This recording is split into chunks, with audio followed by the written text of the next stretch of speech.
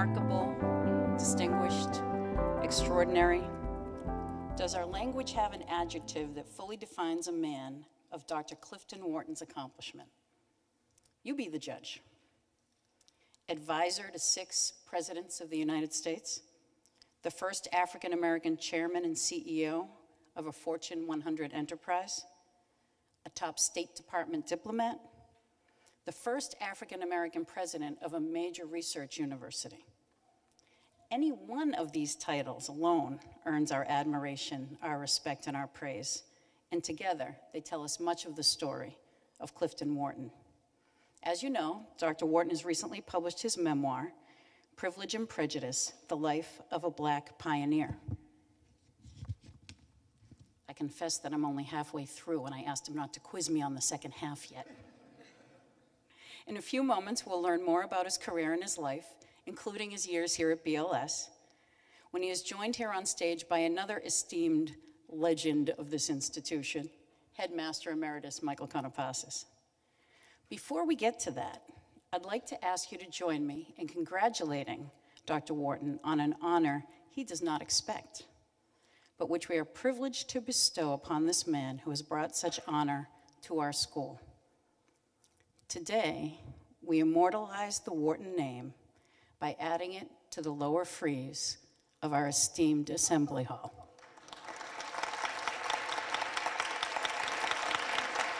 So I'd like to invite Dr. Wharton and Mrs. Wharton to join me, please. It's not just a flag hung up for decoration. So if you could come over.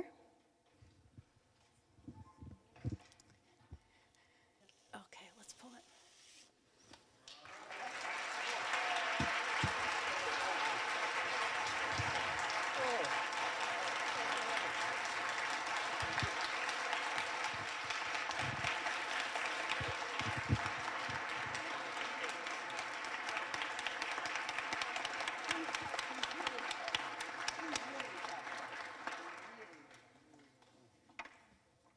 I think we got him. Congratulations. Congratulations.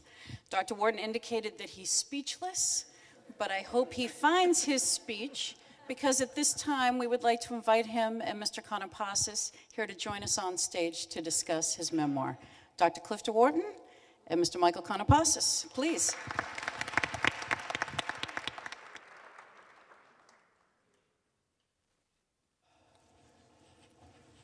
Cliff, I've got to tell you that uh, Peter and Lynn knew that I was coming down to see you and Dolores on Monday last, and they swore me to secrecy that I shouldn't say a word about what just took place, but well deserved. Lynn mentioned a lot of Dr. Wharton's fame and good works. We're going to talk a lot about that during the course of the hour that we have. Uh, As Bill Moyer once said, he's been a quiet pioneer and a pioneer in many, many areas. But like all very esteemed and successful folk, there's always been someone by his side. And she happens to be with us this morning. A distinguished career in her own right. I jotted down a few things that this wonderful lady has accomplished. A member of the trustees or the board of directors of the following the Kellogg Corporation, Phillips Petroleum, New York Telephone, Gannett, the Albany Law School. She's been on the board of visitors at Tulane, the board of governors at MIT, a patron of the arts, and an entrepreneur who very early on established a not for profit in which the goal was to train individuals to take on positions of responsibility. That, as being First Lady at Michigan State, at SUNY, and at TIAA-CREF. Ted Hesburgh has written a, in his preface in the book that you will all uh, have access to that Dolores Wharton has been an important dimension of the Cliff Wharton story. They have been a husband and wife, as he mentions, that cast a single shadow. Please give a hearty Boston Latin School welcome to Mrs. Dolores Wharton.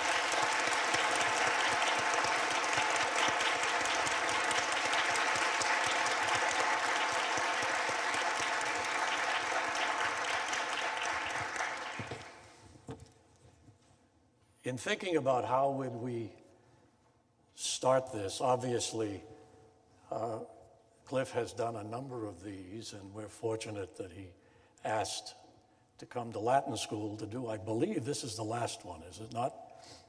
And when you think about his time at Latin school, it's been 72 years since he left this auditorium as a graduate. There are folks here from the class of 43. Bill Nyan is here. Mike Simon is here. Ben Sobel is here. Alvin Pierce is here. And one of the two Hennessy's is here. And I don't know where Bill is, but Cliff, you told me there was a big Hennessy and a little Hennessy. Which one is the one that's here? Is he the little Hennessy? Yeah. That's not the problem. The problem is usually there were five Cohens. And The five Cohens. He's a little Hennessy. And I might add, a very distinguished principal Yeah. for many, many years in the Boston Public Schools. Welcome to you all. So let's begin. 72 years, long time.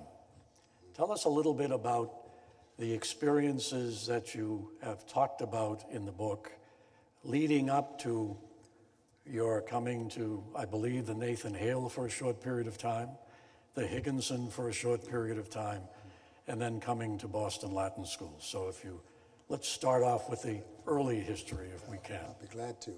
Uh, before I do that, I want to, first of all, thank uh, Boston Latin School, Headmaster Teta, and Peter Kelly for this. This is uh, uh, totally unexpected, and I'm uh, really speechless. It's, uh, it's an honor that uh, is something that is very, very close to my heart. It just is, I can't tell too much. I think uh, Mike would like me to talk a little bit about how I became a student here at Boston Latin. Um, as you will notice in the book, uh, my father was a career diplomat. And in his own way, he was a black pioneer as well. Uh, he was the first black to pass the U.S. Foreign Service examination.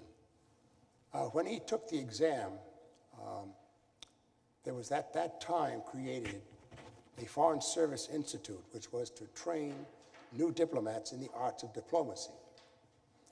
But Washington was segregated, and my father was the first, and the State Department did not want him to enroll in that Foreign Service Institute. But uh, as a result, the State Department, in its great wisdom, decreed that my father had already taken the course and gave him a diploma. And then they sent him off to Africa. And you will find in the book that uh, in Africa, this was where I was created, which is an interesting story. But I was born in Boston, not too far from here, when it was used to be Bar- Lying In Hospital up here. And um, I joined my parents abroad in Africa and Liberia and in the Canary Islands of Spain. And during that period of time, during that period of time, um, there were no international schools, no American schools. All you had were correspondence courses. And so my mother enrolled me in a correspondence course. Now keep in mind, this was in the 1920s, 1930s, I'm sorry. And in order for me to get a lesson, they came by ship. There was no commercial airlines. So my lessons would come out by ship for two weeks. I would take my studies, take the exam, it would come back to the school, to school in the United States. They'd grade it, and then it'd come back. and I'd get my grades. That's long distance learning in those days. but this was the process by which I was taught. In that process, my mother was very instrumental in always including in my studies something which was not in the curriculum. She insisted that I learn about outstanding historically black uh, blacks in the United States, all the distinguished figures, all the way from Frederick Douglass all the way down. And she always included my father in the list because he was so outstanding. Well, the time came when they decided that I needed to become Americanized. Uh, by that time, I was bilingual in Spanish, spent my childhood all abroad, and they thought that I should become a little more of an American. So they sent me back to the United States and to live with my grandmother. Now, in the interim, during one previous period, when I came back on home leave, this is the one that uh, Mike is referring to. Uh, I went to school and I was tested. And Bill Hennessy will appreciate this that when they tested me, I was, I think it was seventh grade geography, eighth grade reading, second grade math, you know, about the good average student. And uh, they finally put me in the fourth grade. And in the first class, the teacher, who knew that I was from abroad and had come from abroad, decided that to put me at ease, and she knew that I read very well, she would have me correct any student who made a mistake in his reading. So a student would make a mistake and she'd call on me Clifton, and I'd stand up and I'd read it properly. During recess, I should also explain that in going to the school, my mother said to me, she said, Clifton, you may hear words that you've never heard before. I don't want you to use any of those words until you check them with me.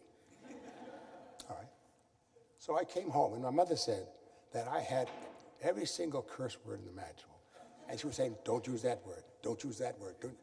And I said, Screw. And she said, You mean like with a piece of wood? I said, I don't think so. and she said, Don't use that word. And then I said, Well, there was a boy who came up to me in recess, and he says, You think you're smart, but you're just a nigger. And I never heard the word before.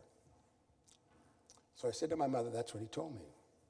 And she said, Clifton, she said, that's the way in which a white person wants to demean you by categorizing you as a negative person who is lesser.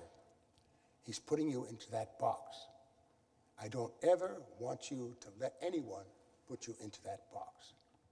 And that lesson lasted for the rest of my life. So I came back with my grandmother, and I enrolled in uh, Higginson, along with my good friend who's here, Cord Ellis. And uh, it was in those days, for those of you who are not familiar with that period, Boston had absolutely wonderful primary schools all over the city of Boston. It made no difference whether it was upper income, lower income, they were great schools. And from Higginson, the teacher and the principal decided that I should go to Boston Latin School. So I was admitted and came to Boston Latin School. And I remember very clearly coming in here on the first orientation with the rest of my classes, and some of them whom, as you heard, are here today.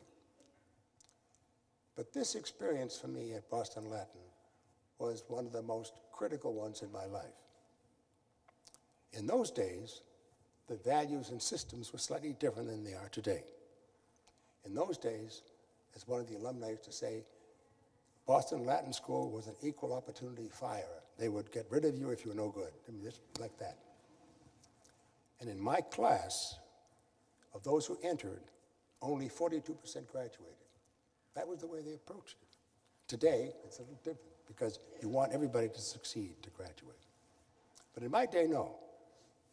You either made it or you didn't. And it was just like that.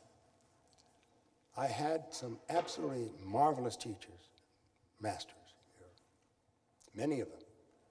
Uh, among them, of course, uh, in one of the speeches that I gave here, which was well received, was, the, uh, was Roach. Now, see, there's not as much laughter this time. There are not that many, there are not that many people who know Roach here. I've got to interrupt here for one reason, and that is that many of us who came after Cliff have a far different impression of Bill Roach, alias Doc Roach, than Cliff has. In fact, when we have chatted over the last six months, one of the things that Cliff told me about, which I couldn't believe, is, a story that he will tell you about, about well- Bill Roach. What happened was very simple. I'd been with my grandmother for three years while my parents were abroad. And my mother came back with my siblings, and of course, she checked me out. And my mother had taught uh, Latin. Keep in mind that my father had gone from English High to law school, skipping undergraduate, and my mother had gone from Girls High to BU to study chemistry. Very unusual in those days. But my mother had studied Latin. And she discovered that I was using my memory and I didn't know Latin. And by this time I was with Roach in class four. And so she took it upon herself to come down here to meet with Mr. Roach. And she came home and told me, she said, Clifton, I went to visit school. Really? Yes, she said, I visited Mr. Roach. And I told him you did not know Latin and you were just using your memory. And Roach said, Really? You have to realize Roach would call upon each student in turn. You made a mistake, down you would go with a zero, and you go through the whole room. And as Mike Ben Sobel know, because of our, we were S's and W's, I was in the last row. And I always hoped the class would not, would end before it got to my room. and so I, I said, well, you, you went to see him? She said, yes. And I told him this. Said, and he told me, he said, well, Mrs. Ward, from now on, I'm going to call on Clifton first, every single class, and send you a note home and tell you how he did. I was aghast, absolutely aghast. Now, many years later, when I gave uh, the inaugural address here, I told this story. And one of my classmates came up and said, Bill Roach is still alive. I said, Really? Yes. So I sent him this copy of the speech. And he wrote me back a beautiful letter, which is in the book, and so on. But that's the experience that I had with Roach. But I had many others. Uh, I could mention quite a few. I have several in the book. I mentioned Cray, who was a wonderful teacher. Max Levine, that everybody loved, who was up here on the frieze. Max taught French, and let me tell you, he never missed having a class that exceeded the requirements for language in college. Every single class, just like that. And those of you who can remember Max Levine, he always started that class with that large blackboard, and he had all the irregular verbs, irregular verbs written on it, and he would say, the words that one must begin with are au revoir and être. But the important thing for me about Boston Latin was, besides the companionship and comradeship with my classmates, was the fact that the curriculum was a curriculum which gave you the opportunity to learn how to think. In a variety of ways, you were encouraged to use your mind and learn how to think and learn how to learn. And that was invaluable. And quite frankly, uh, I've said this to a couple of people today. The attitude that I have towards Latin school is rooted in the fact that also many of my classmates went to Harvard along with me. We had the largest number of Boston Latin School graduates that year compared to Andover. We beat them in Andover. And that, those classmates of mine, we were together for six years at here at Boston Latin, four years at Harvard. We went from pre-adolescence, adolescence, and adulthood together. And we became permanent friends for the rest of our lives. One other Latin school story, and then we'll move on. Um, perhaps many of you don't realize that along with the scholarship that he talks about, Cliff was an outstanding athlete in track. In fact, when he first came back to this building, the, ba- the basement corridor, which we have renovated, was the track. That's where all of us used to run around. I still remember seven times around is a mile, in case anybody wants to try it. There is a portion in the book there's a part in the book where Cliff recalls his senior year. There was a first class runner at English High School who dominated the entire season. Doherty. Doherty. See, I know. Doherty. And then Cliff and Doherty faced off in the regimentals. And I believe it's one of the few times that your dad was in the stand. So tell the story about the track meet. Well, I, I, the- the- there's, there's an additional note to this. Uh, as I mentioned a moment ago, Court Ellis, who's here, uh, was a friend of mine for many, many years. And Court was at English High, and I was at Boston Latin. But we still remained good friends. And that year, Doherty kept getting higher, uh, better time than I did in, my, in the 220. And it be soon became apparent that we were going to clash in the regimentals. And I never will forget it. Court kept needling me and saying, You think Doherty's going to beat you? You think Doherty's going to beat Actually, he really wanted me to win. Didn't you, Court? I'm sure you did. But, but the thing that happened was that when you are running in a race, you don't hear anything. You, your really mind is concentrating. And we took off. Doherty was ahead of me. First turn, second turn, back stretch, next turn. And we got to the last turn, and he was about five yards ahead of me. And for the first time, my only time in my life, I heard someone. It was my father. And he yelled at me said, Go get him, Cliff. And I burst out, passed him on the inside, and beat him. And of course, Court was very happy. I was happy. My father was happy. But I did that to Doherty every year, every, every race that rest of the year. But that was, that was one of my great fun. But Court and I set a high school high jump record jointly, same height together. And we had our picture taken in the. There you go. Yeah. Talk to us a little bit about the four years at Harvard. That was a very interesting period because uh, at first uh, I was a commuter, like many other students from Boston. Then I entered uh, uh, Adams House, and one of my roommates, uh, Harold May, is here. I might point out that um, one of the interesting things of that particular period is that in terms of Harvard and many of the other elite colleges and universities, they had very limited numbers of blacks that were admitted. In my class at Harvard, there were only four of us.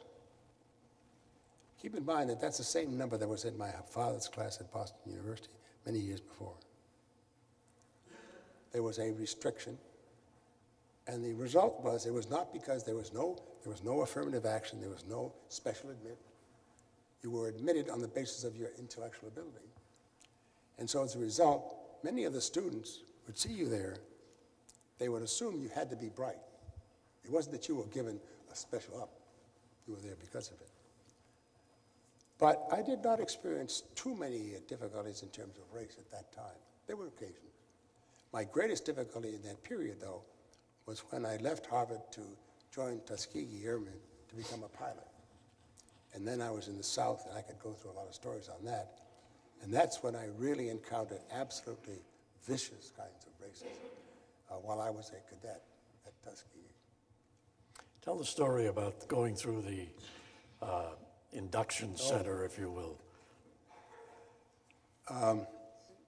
I was, uh, I was sworn in at Fort Devens, traveled down to Biloxi, Mississippi. I'd never been to Biloxi, Mississippi before. And uh, those of us who were going to Tuskegee were processed separately, blacks in one group, whites in another. And each of us had a big, large manila envelope in which was contained, which contained our data, information about ourselves, which was filled out at the time we enter, enrolled. But we never saw what was on the form. We never saw it. But every time you went to a new base, you had to carry it with you, and they would check the form and go on. Well, we arrived there, and I'm going through this process. And my form goes down, goes down, and suddenly it stops. And a white sergeant said, Whose is this? And I said, Mine. I just gave him his, my name. He said, Where'd you have this filled out? I said, Fort Devens. He said, you can get court-martial for lying on your forms. And I was, here I was, three days in the Air, Army. I had no insight. I was just as new as you could be. I had no idea what he was talking about. And he got more and more excited. And finally, a lieutenant who was in the well in back of him, hearing this commotion, he got up and came over. He said, Sergeant, what's the problem? And the sergeant said, Well, this recruit here, I knew what he wanted to say. He, he said, This recruit, he said, has falsified his forms. He cannot speak all these languages, been to all these countries, and is a junior at Harvard. And he was only 18 years old. And the lieutenant said, You went to Harvard? I said, Yes, sir. He said, Did you live in the dorms? I said, Yes, sir. Adams House. He said, How is Dr. Little these days? And Dr. Little was the headmaster at Harvard, at Adams. And he said to the sergeant, This is perfectly all right, it's correct. And he threw it down the table. But I had some other ones too. which are- We'll get to some of those. Yeah, yeah. Let's uh, move into uh, uh, a different uh, frame of reference here, if you will. How are you able to segue into four entirely different careers, from philanthropy to higher ed to business and government? Uh, that's a very good question. Um, the men, in particular, it was a case of it's much more natural than you would realize at first. Uh, my first position, uh, the job, was with Nelson Rockefeller, working in one of his programs dealing with Latin American e- economic development. We had programs in Venezuela, Brazil, and Costa Rica and I was a trainee, and then I was in charge of information. This was after I'd graduated with a master's from Johns Hopkins University School of Advanced International Studies, where I was the first black enrolled there in segregated Washington. That's another story. But uh, I, at that time, found the area of international development quite interesting. My father wanted me to become a diplomat, and I had planned on being a diplomat. But for a variety of reasons, I said, no, I don't want to do that. And I said to my father, I said, you know, I think that foreign economic development is going to be a very important part of U.S. foreign policy. And my father, who was kind of an old conservative in this regard, said, oh, that's just do-goodism. And I said, no, I think it's going to be very important, which it turned out to be. And that's how I became employed by Nelson Rockefeller. But I was there for five years and became married. We had a son. And I said, I didn't see too much future in that regard. And I had two wonderful bosses. And one of them one day said, You know, Cliff, he said, I think you should get your PhD. I hadn't thought about it, but You should do so. And Dolores and I talked about it. And I said, well, it might be something we should consider. Then that same person one day gave me a new journal, professional journal, called Economic Development and Cultural Change, which was just being issued by the University of Chicago.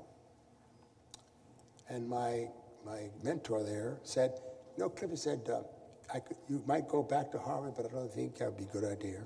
You could go to Wisconsin to get institutional economics, but Chicago, now there is a place where they've got huge econometrics and very wonderful statistical economics, and that would be a good place for you. Well, this journal was being published in Chicago, so he said, read this. So I went home and I read this. In the journal, there was an article by a professor named Theodore Schultz. I didn't know who he was. I read this journal. It was really very congested. Two days later, I'm in the office, and he calls me and he says, Cliff, come in. I want you to meet somebody. And I come in he says, here's Professor Theodore Schultz. Now, I did not know it at the time, but Schultz was getting ready to start a major study of U.S. technical assistance in Latin America, which is where I've been working. And he was recruiting Maddox to be part of that mission.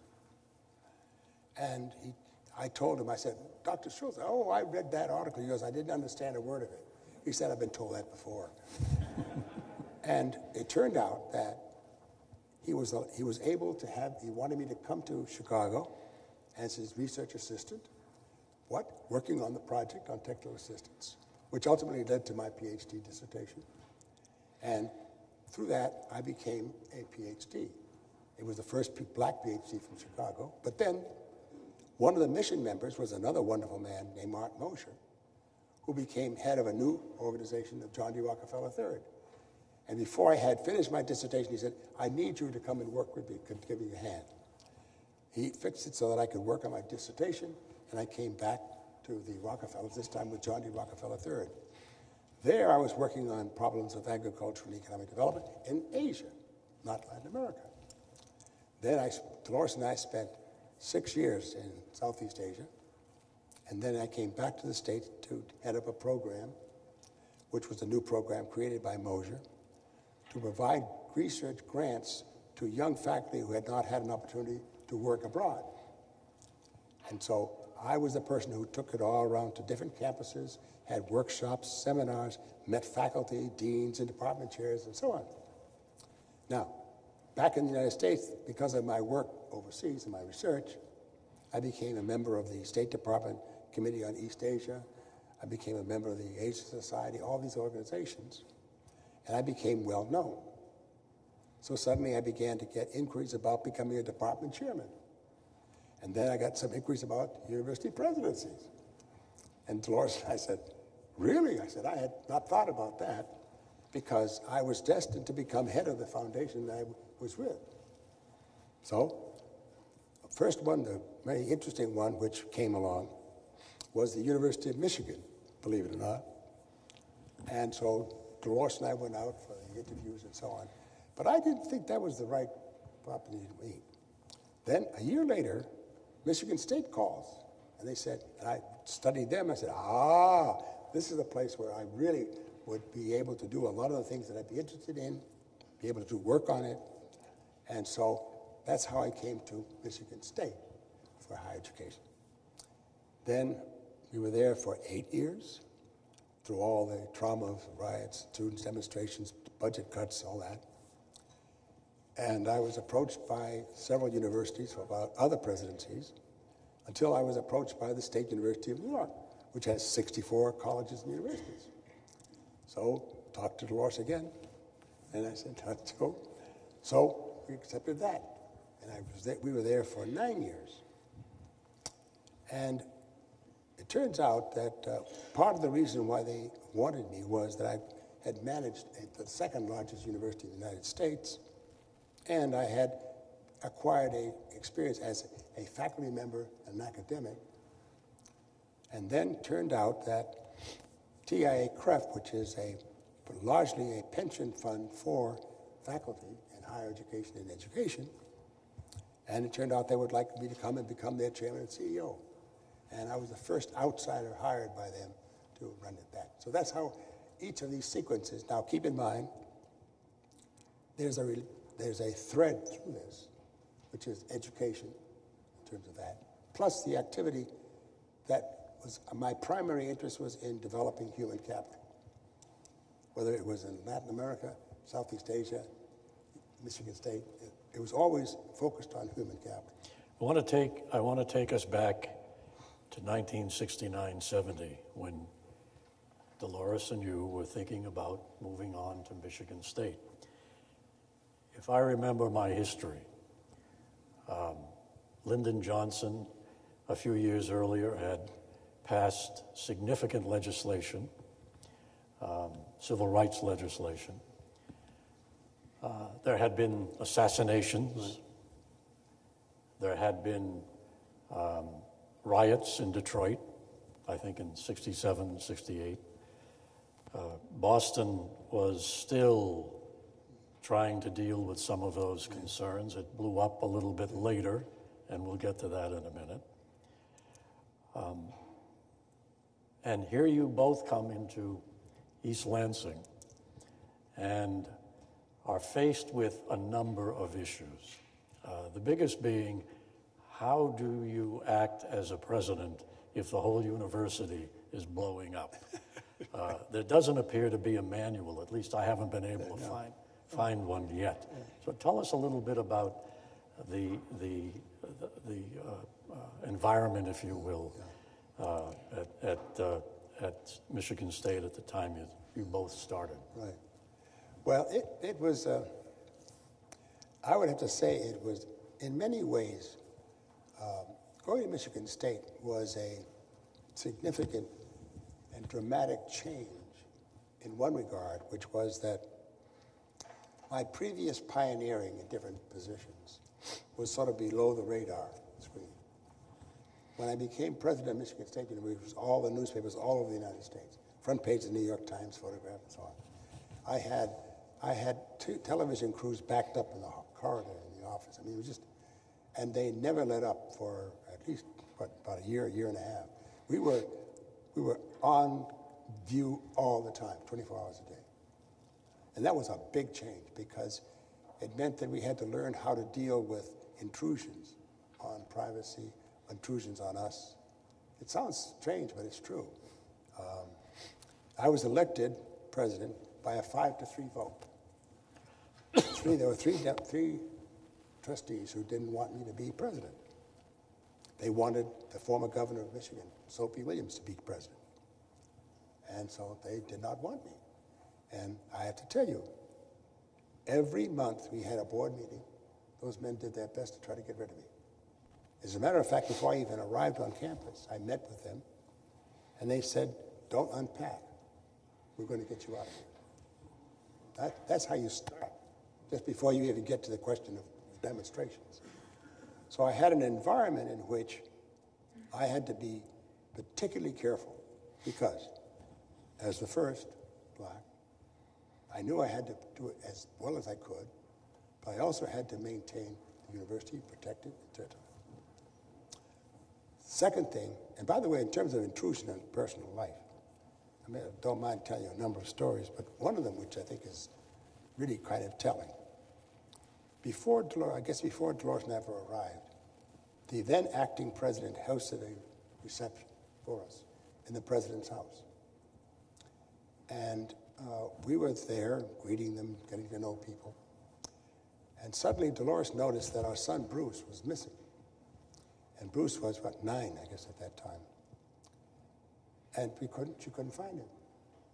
And then she heard voices downstairs in the basement. She goes down there, and here were these three dissident trustees pumping our nine year old son to get information about our private life. This, this, that, like that. We had reporters that would show up at his school, wanting to follow him around school to see how the students reacted to a black student in. The principal called Dolores, said, Did you get permission? She said, No. Kicked him out. I mean, this was, it's a, people don't realize that that's the kind of environment. Secondly, because of the high visibility, we also knew that there were questions being raised about whether she and I were competent to be able to deal with this. Now, remember, this was a campus of 48,000 students. It had the largest dormitory complex of any university in the United States. It was the second largest university in the United States. The campus was five miles north and south, a mile and a half east and west, one huge monster. As a matter of fact, I tell in the book the story that when we went there on our first visit, I rented a car to drive back to the airport. I got lost on the campus. And the Lord said, Why don't you stop and ask somebody? I said, Not in your life. I can see the headlines now. New president loses way on campus. You know, I mean, no, but that's, yeah. Now, the third thing is, there was a great obvious concern about whether or not my presence would lead to a lessening of the quality of the university because there was a tremendous problem of open admissions then in the United States, which I call the revolving door. They increased the number of minority admissions, but they didn't graduate. They just get on the door. And so I had to develop a, an approach to reassure both the minorities and the non-minorities as to what I wanted to have done. So I did it with a special commission which studied the matter, and they came out with a series of recommendations, which are in the book. And the recommendations involved developing special, one of the recommendations was to develop special programs for incoming students based upon whether there was an educational disadvantagement or economic disadvantagement, and to give them special treatment before they even enrolled as freshmen. And, I, and they would, very often I would be approached, they'd say, we want a quota, we want a number, we want a number. I would not give them a number. I said, we're going to admit and graduate and gradually increase. When we began this program, by the time that program, the first group graduated, they had the exact same graduation rate as the rest of the campus. And we had the largest number of minority students in the United States. But I never once did it the other way. It was possible to do it. Mm-hmm. But I was able to anticipate what was going to happen. But then, fourthly, with the riots and demonstration, we had the first riot six weeks after we arrived. Six weeks. In the snow in February. And the, they were tearing up the town and part of the campus. And the head of public safety on campus came over to the Cowles house, the president's house, and he said, I think, President Wharton, you should go out and speak to the students. Okay, says I. So Dolores and I and our oldest son, Clifton, had come on a visit, which is another story because Clifton is, uh, or was, uh, six feet four. He looked like he was wearing his peace jacket and his long hair and all the whole thing. He looked just like the other campus students. He came for a visit. He was a senior in high school. And he could not get on campus because of the mobs and the police. Mm-hmm. So he had to, but Dolores couldn't meet him at the airport. And She said, just take a taxi. They take ta- taxi couldn't get on campus. Clifton gets out of the taxi, goes up to a campus policeman. He says, where's the president's house? I said, yeah, yeah, I know. No. She Clifton said, well, I'm the president's son. He said, yeah, I know. He said, let me see your ID. So he gave him his ID. He said, you are the president's son. Because his name the same as mine. But, but he was with us. And he, the police, the head of police, took us to the student union, which was about as far from this corner over to there. We didn't even know where it was. I mean, we stand on the snow, and they gave me a bullhorn, and Dolores was beside me. And uh, I didn't know how to use a bullhorn. You know, you things you don't. So finally, I learned. So they said, students of, Mi-" I was very academic. Students of Michigan State, these activities are highly counterproductive. And a yell goes up, up yours, Wharton. I mean, you know. And, and, and so I decided, so a football player said, let him talk. I talked. Said, I talked to different things. Then I went back, they went right back on rioting. I get home and Laura says, she looked at me. At the look I knew. What did you get us to do? but anyway, it was a, it was a fabulous opportunity a great experience, mainly because we were in a situation where that campus has some very special qualities. And by the time we left, we had a great relationship throughout the whole system and the state of Michigan. And so much so that after we had left, they named that Performing Arts Center for the two of us, which is another story because Dolores was the one who pushed that. And, and a lot of the stories around the Michigan State years are in the book. But I would suggest that uh, you mentioned the 5 3 vote. Uh, those of us who have been superintendents, if you get a 5 3 vote, it's time to polish your resume. but let's move on. Okay. In terms of uh, trans, uh, moving from Michigan State to SUNY, the challenges that you addressed there, uh, how were they different? How were they similar? Uh, what did you find when, obviously, you went there at a critical juncture at the, at, with, the, with the state uh, system? Um, disjointed would be probably a, a correct term to use. Tell us a little bit about uh, why the challenge, if you will, and then what did you find? And Well, the, the, the university, SUNY, had been built up very largely as a result of Nelson Rockefeller. It was his prime baby. And, um, but by this time, state levels of funding and support were declining. It was an aggregation of former teachers' colleges, some brand new research universities, community colleges, medical schools, and so on. As I used to say, every single field of knowledge is taught somewhere in the SUNY system. And there's a campus within 50 miles of every resident. And so what happened was, here was a huge, the largest system in the United States, but it was disjointed, as you say. It was suffering from decline in terms of funding. And uh, you would see in the book that one of my patterns of behavior is what I call a shipboard tour. Because when I was a youngster going on board my first ships, I always went from the bridge down to the engine room. I didn't know where everything was. I'm very curious. And so at Michigan, at SUNY, what I did was I visited all 64 campuses in 10 months. I got to know where the campuses were, what their problems were, and so on. But from that, I developed a template of my priority issues. And if you were to look at what I did and presented to the Board of Trustees, that represented all of my activities for the next nine years. But one of the things that I wanted to do was to make it more consciously aware of being a part of a system. Secondly, was to show them that by being a system and working together, they would have more power and influence than otherwise. And the perfect example of that was when uh, the governor, the then governor, Carey, had cut the budget so dramatically that we would have had major, major problems with the university. And with the concurrence of the board of trustees, I decided that we would try to, to overturn his veto budget. It had never been done for 25 years. And working with the campuses and throughout the whole state, we did it. We overran it.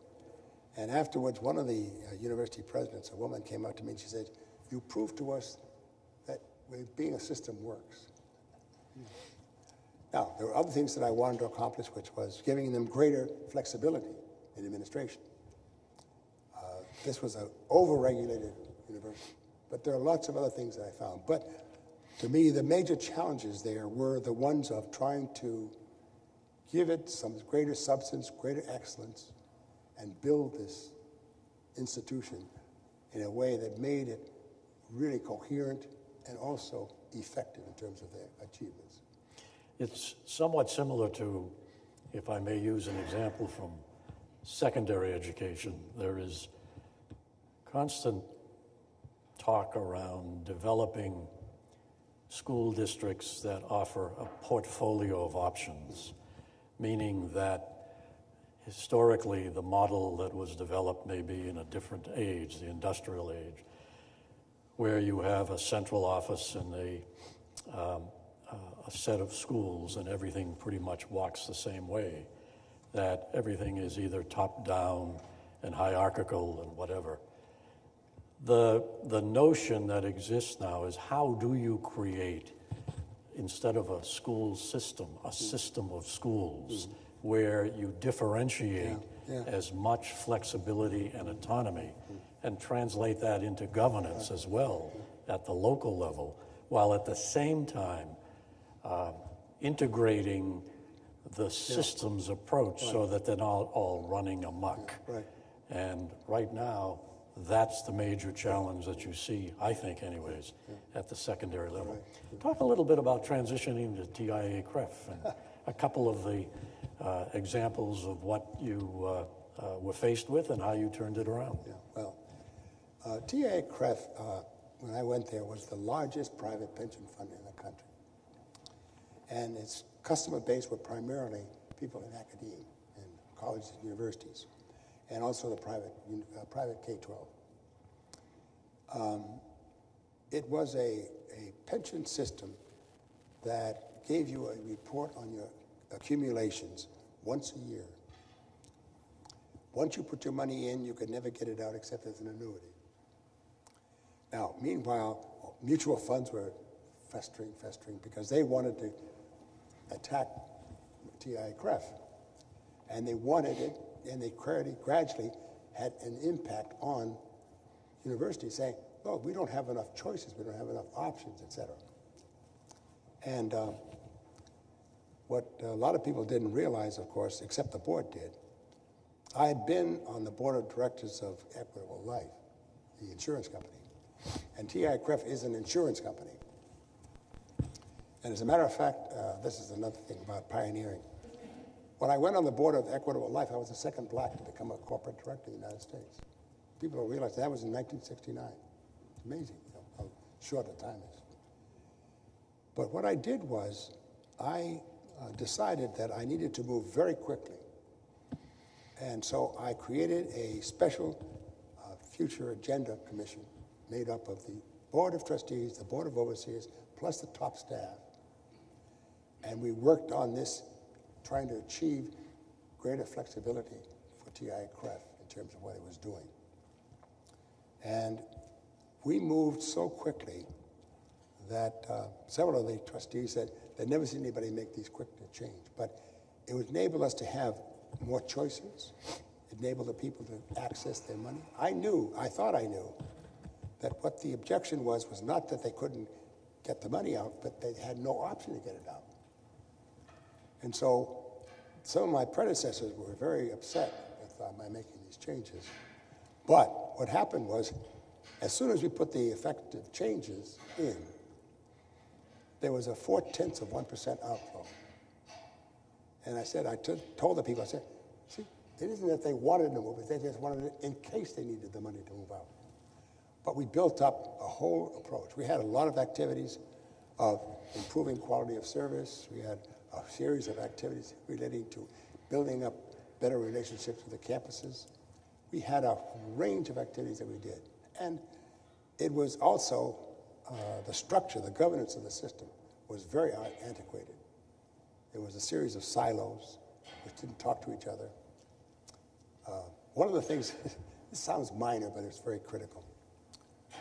Again, it's my shipboard tours. I visited, soon after I arrived, I visited every floor in the three buildings that we were in, and all the employees. And when I finished, I said to the man in charge of the buildings, I said, I know which department's giving you the greatest difficulty because we were having a huge turnover rate in the company. And that meant that we had such a high turnover rate that it was equivalent to changing the workforce every three years. I said, I know which departments are the worst. I told him. He said, How did you know that? I said, I wouldn't want to work there.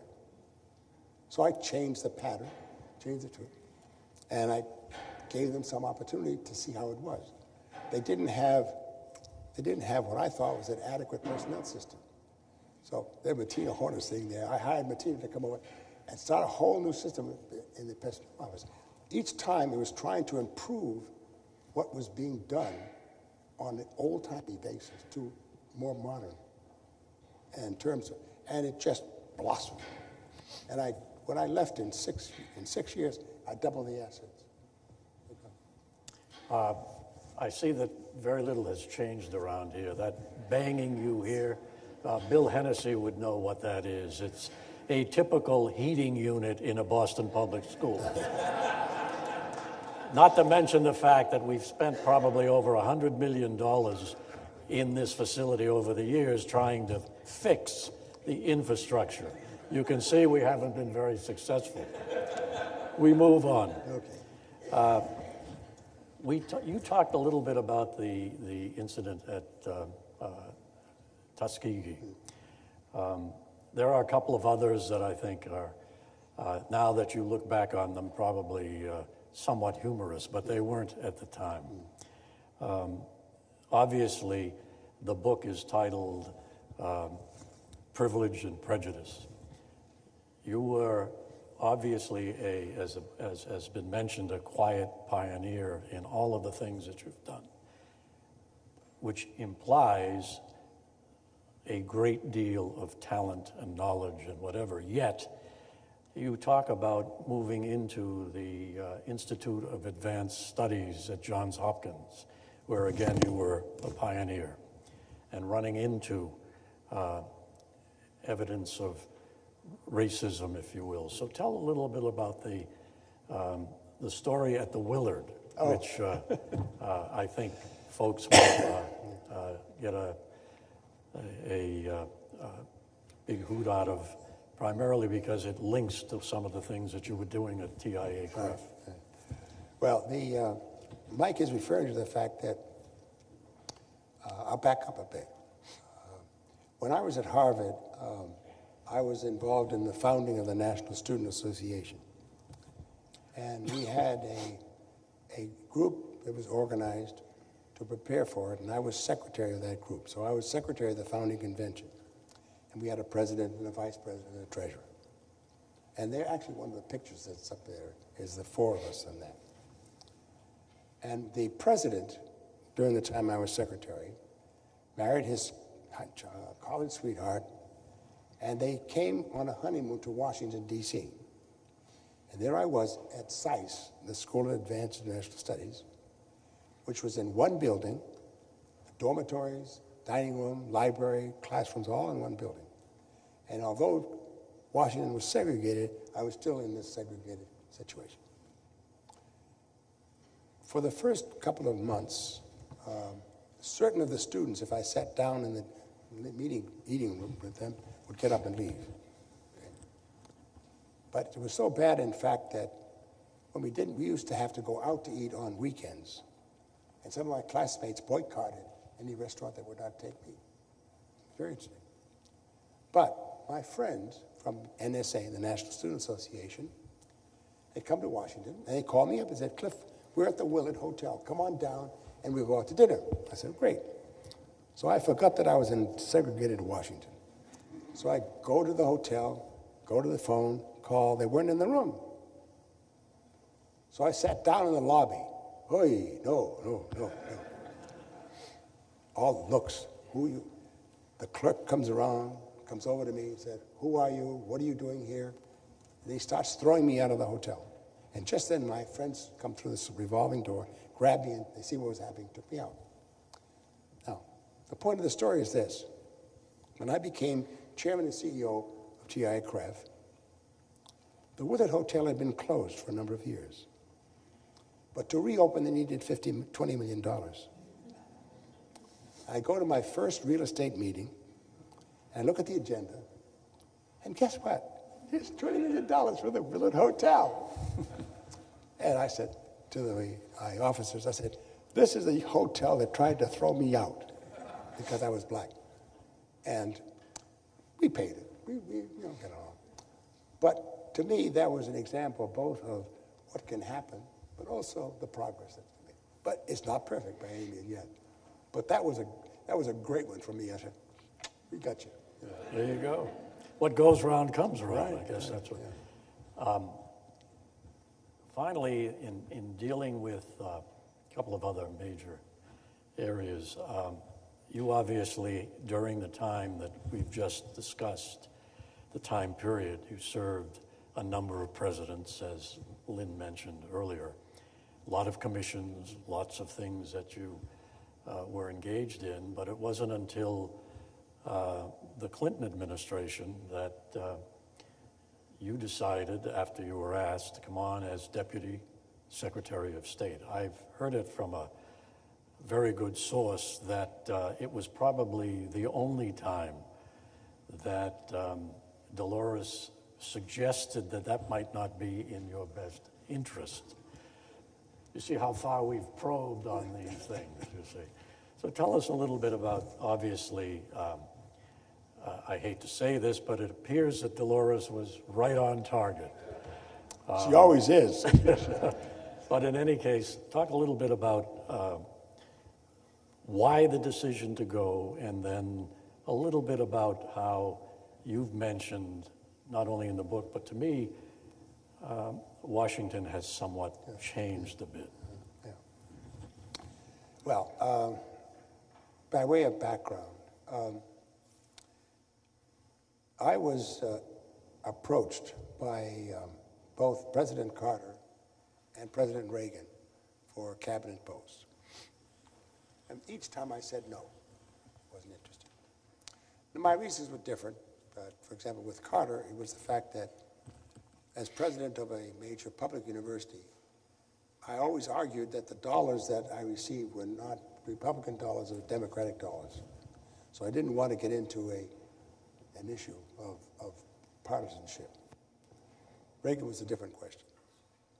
Um, the um, issue with uh, Clinton was that Dolores and I were invited to go out to the Wharton Center where President Clinton's, one of the debates was being held during his election. and I would have to say I was quite impressed with Clinton's performance at that.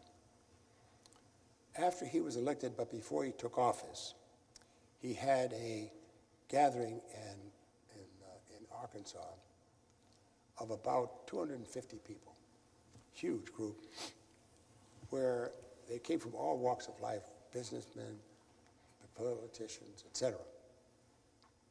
And several of us were asked to speak. I was on a particular panel. And I watched uh, Gore and Clinton operate. Clinton had a, both of them had a briefing books about that thick. They never consulted him. They would exchange ideas and thoughts and programs with the pe- people who were talking. They, they knew them immediately very well. I was tremendously impressed with the depth of knowledge that both men had. When I appeared on my panel, um, I made a set of closing remarks, and the whole audience cheered on. So they thought it was very good, I guess. At any rate, um, then um, Vernon Jordan saw me one time, and he said, "You ought to think about joining Clinton's administration. They're going to need help like yours." I said, "Well, you know, I wasn't too sure." Well, it turned out that he did approach me, and um, the uh, the first one item I was not interested in, but then he said, "Well, what about the number two position in the Department of State?" And I thought that this was a place where I might be able to be helpful, because that is primarily a management position. It's not a foreign policy position. And Dolores and I talked about it, and you're right. Dolores was not overly enthusiastic about this one. She had dealt with Washington for a lot through her corporate boards and a lot of people from Washington.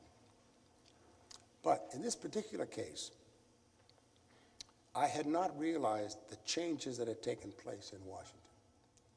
When I chaired various commissions in Washington, one of them I used to go to Washington every, every month, and I would go to Congress. And the leadership in both houses was such that they would debate on the floor, disagree, but then they would get together and talk and work it out mm-hmm. by compromise and negotiation. So that, for example, I could go to see Senator Javits and I could go to see Humphrey. It, it would make no difference. I mean, they would work together. Well, I stopped going for about 10 years, and I had not realized how badly had it deteriorated.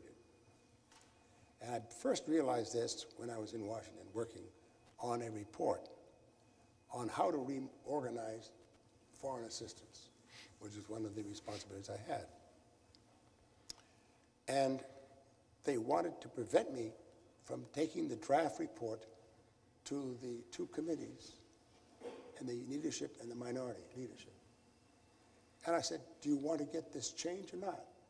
Because if you know politics, and as I did, you talk to both parties, you don't just talk to one. And they said, No, they're the enemy. And I describe uh, several instances in the book of how it was so, it was terrible I mean, it, they're working with. So that particular change was very, very dramatic. It's worse now than it was then. And it is a serious, serious problem because it means that instead of being political, it's lower P, it's political with a capital P what's happening. Last question. Um, and it has to do with something that you've talked about both publicly and privately to, to, to me, and that is the escalating costs of higher education. Uh, particularly, I think, if I remember it correctly, you've made a statement that if you're in the highest economic uh, level, you have pretty much an 85 or somewhere around there percent chance of moving on. If you're in the lowest quartile, it's probably 8%. The gap gets continuously larger.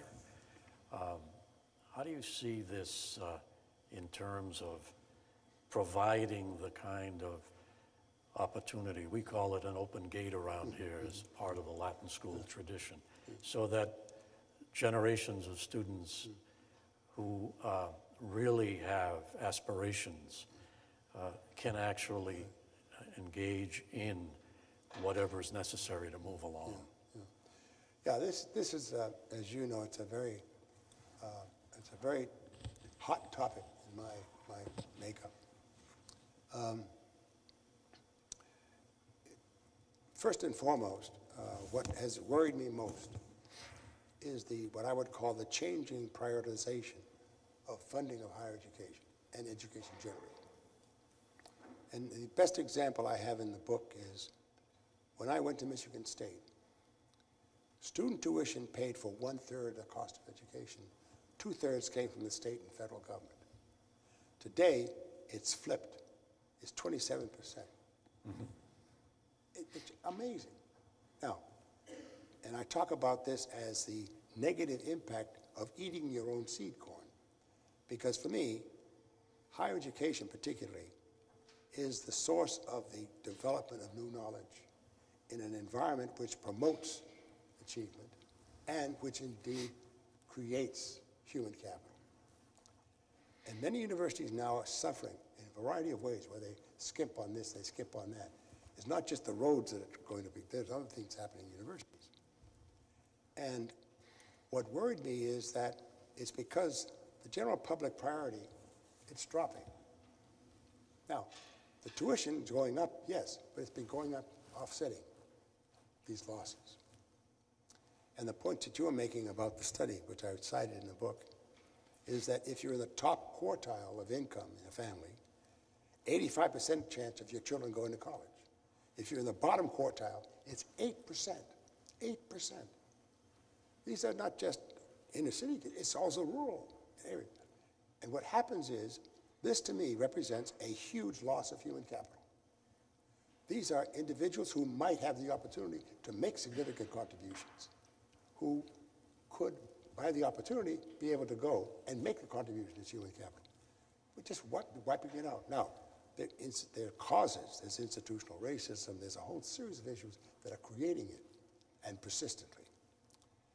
And I must confess that the, uh, my reaction, which is uh, very visceral on this one, right now the debate that's taking place in the presidential debates, where they're talking about, arguing about free college, all right, free college. And there's one person, I won't name who came out with the statement and said, free tuition would be the decimation of the American States, United States. And I said to the Lord, I said, this person never heard of GI Bill. You stop and think about it. Stop and think about it. Those of us who had here when GI Bill, the number of people, the number of people who had an educational opportunity to go to college in those years produced incredible increases in the United States capital. Huge, huge productivity. And free, yeah. It was veterans, yes. Mm -hmm. But the, the campuses exploded in size. They, all these activities. Who is it that benefited? Now, here's where the real catch comes. And I used to do, when I was a, a so-called economist in Chicago, there are studies which have been done which shows that individuals benefit from their education, and you can calculate it. But there's a portion of the increase in value which is not received by the individual. It's received by the state. So if part of the value of education is for the individual, there's another part that's valuable for the state. It's true. So don't you pay for it? No, no, no, no. It should be free. I mean, this, this is where it seems to me we're missing the boat on prioritization and also on the effect of that loss of human capital and also the effect of this on eating your seed corn. Well, we've, uh, the hour has gone by quickly. Um, I hope uh, you all have, uh, as I have, having uh, read the book and gone through a series of conversations and with both Dolores and Cliff, get an appreciation of what the term quiet pioneer means.